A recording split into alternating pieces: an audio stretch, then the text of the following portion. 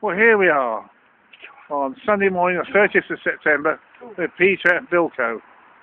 Yeah? Yes. And that's Peter playing with the ball. If you put the ball away, Pete, he might do it. That's not a very nice. If the ball is causing the trouble, you get rid of the ball, he might do what you want to do. That's it. Fucking ball.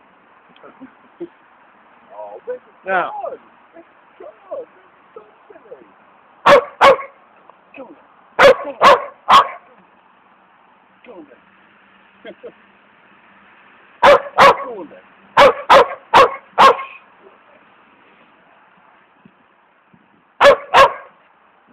That's not nice.